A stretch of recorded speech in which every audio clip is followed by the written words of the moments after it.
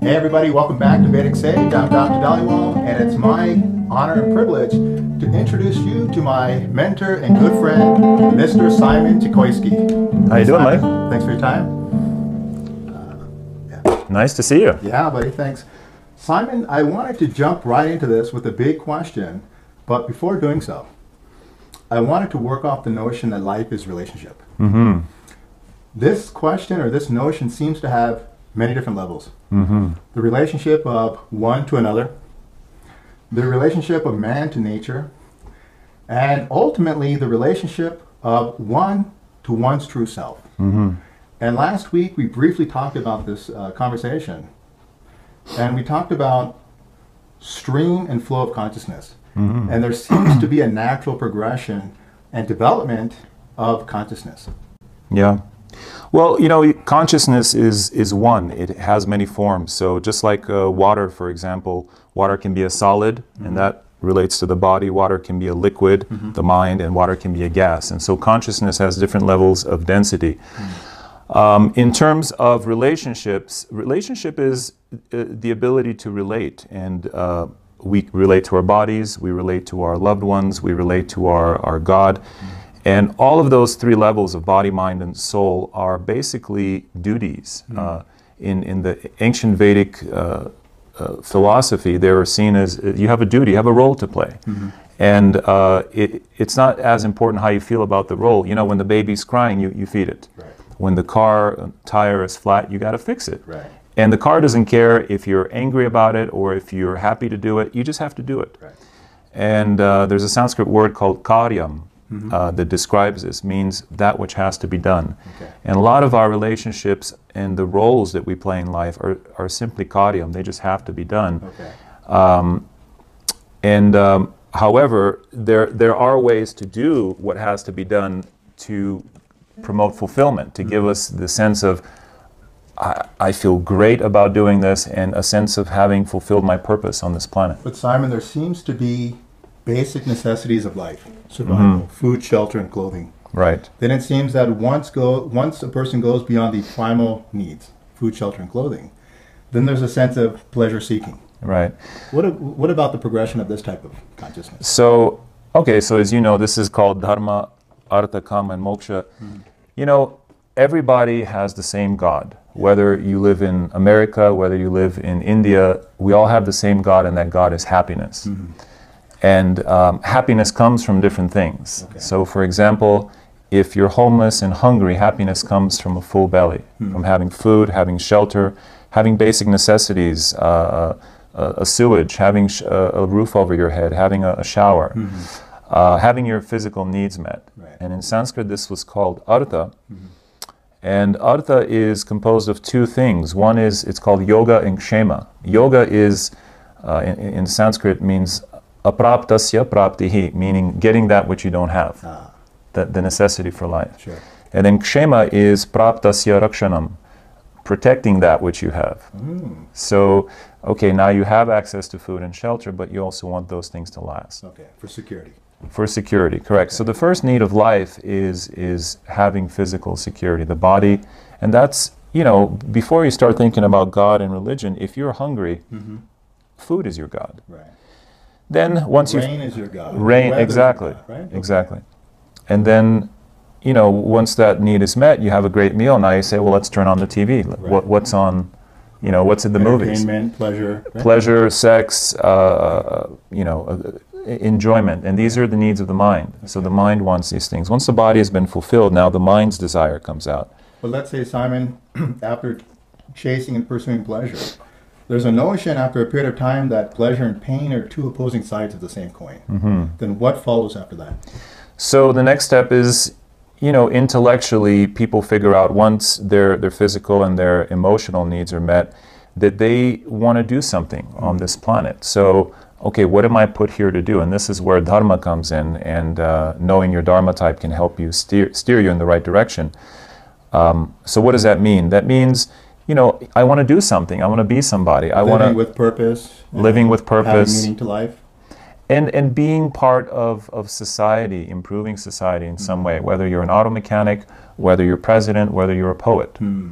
uh, you you give your gift to the world. Okay. So once your basic needs are met, you're, you're giving your gift. Okay. And everyone, you, me, everyone is born with a, with a special gift. And the, you know, nothing is useless on this planet. There's a, there's a phrase that I like to uh, say in Sanskrit that says, Amantram nasti, nasti mula manoshadam, ayogya purusho nasti, yojakas tatra durlabhaha. Which means there is no sound that is not a mantra. There's no plant that's not medicine. There's no person who does not have a purpose. But it takes skill to find these things. So the skill to find these things is is simply a matter of education. It's what we're doing here. It's what uh, you know what higher learning is really all about. Except we don't get that in, in college anymore. So the idea of how to share your gift is ingrained in the Vedic culture, and um, you know they Ayurveda is the science of how to take care of the body and the mind.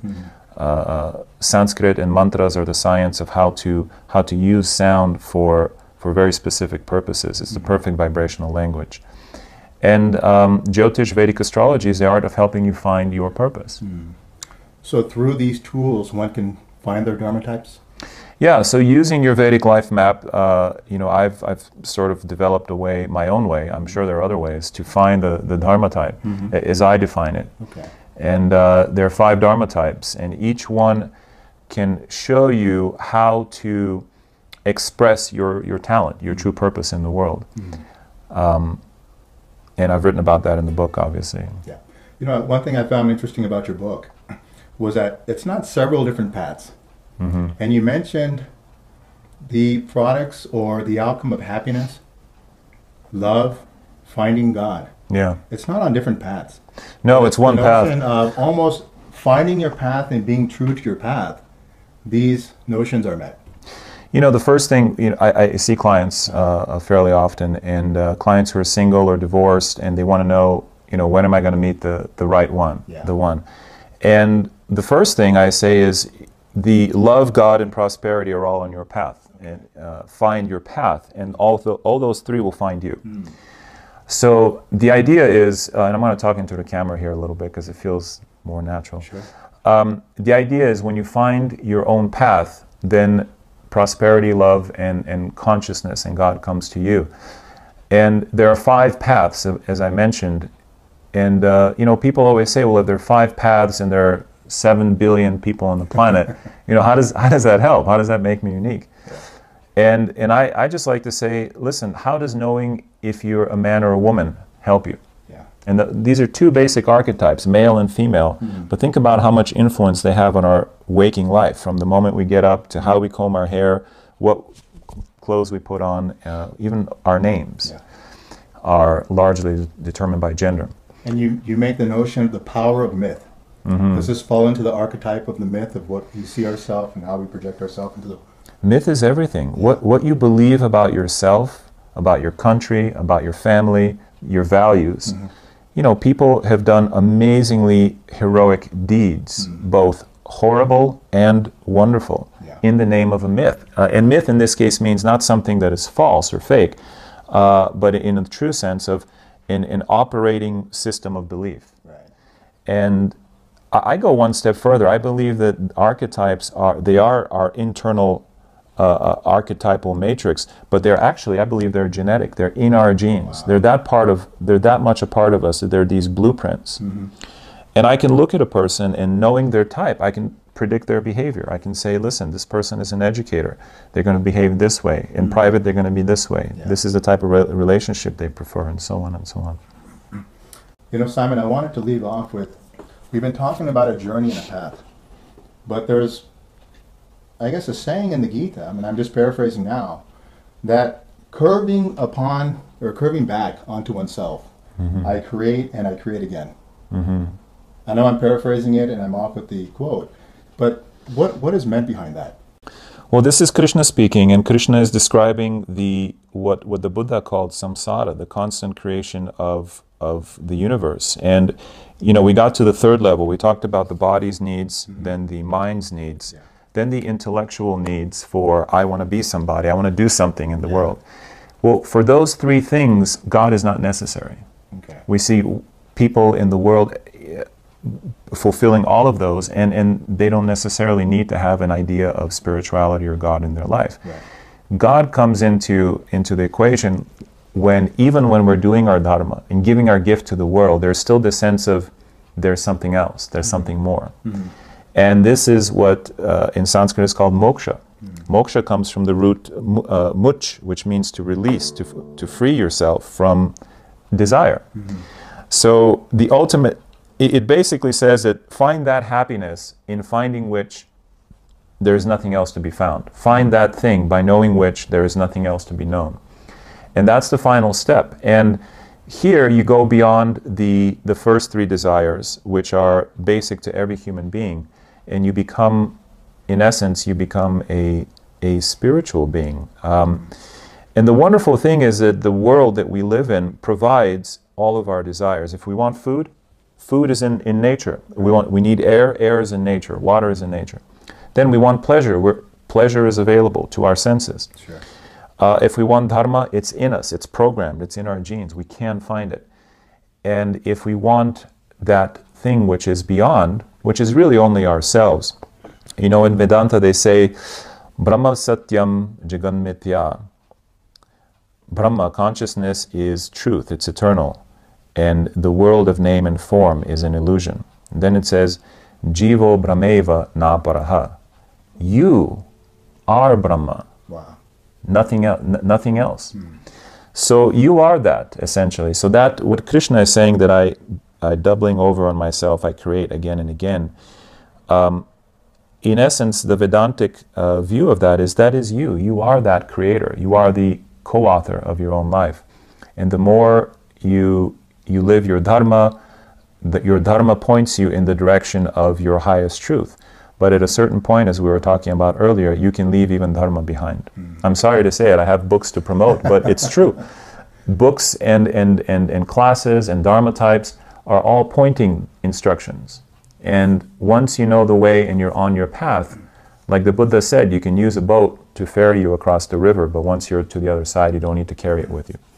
So these are all instructions, but they're not Simon, the thank you so step. much for your time. Oh, It's you been bet. an honor. Hari Om. Um, for the people who want to contact you, what's the best uh, media? Siddhadeva.com, uh, S I D D H A D E V A at yahoo.com. Any upcoming projects coming out? Uh, well, we have uh, talks uh, scheduled in Florida, Ohio, and um, in California, um, promoting the book. And um, oh, and we're doing a certification actually for people who, who really find that the Dharma type help, can help them. Well, It's a wonderful counseling tool. I can't tell you how much, you know, I'm not a great astrologer, so half of my reading, beg to differ. half of my reading is is helping people find their dharma type, and um, it's a wonderful counseling tool. So I will be doing a certification on the dharma types here in, in a couple of months, and I will let people know about it. Wonderful. Everybody, thanks for watching, and until next time, take care. Simon, can you Oh yeah, this is a song uh, about Vata Vriddhi. Oh. Karshya Karsyoshna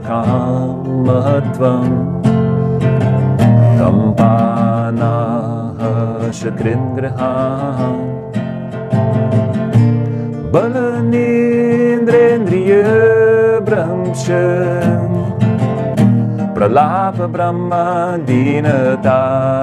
Balanindrendriya